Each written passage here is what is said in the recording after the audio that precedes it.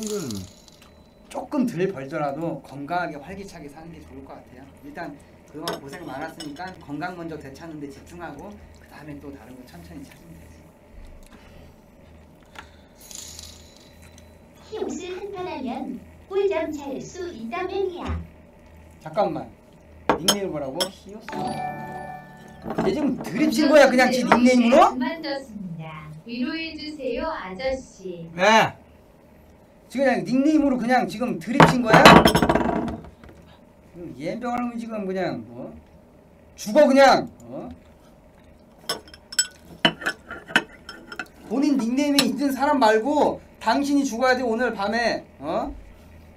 내가 2시쯤에 잠들 예정인데 2시 되기 전에 꼭 죽어 있길 바래 어? 사람들은 어? 괜히 내일 우리 잠이 들으냐 마냐 그런 문제에 봉착해 있는데 그냥 거지 같은 거라고 있어 그냥. 보고 있어! 광고병이야 광고병. 어자 치우고 커피 한 잔 갖고 올게요. 광고병이에요 광고병. 광고병.